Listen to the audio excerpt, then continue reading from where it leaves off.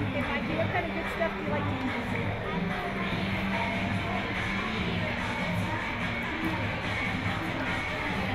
Oh, any vegetables that you like?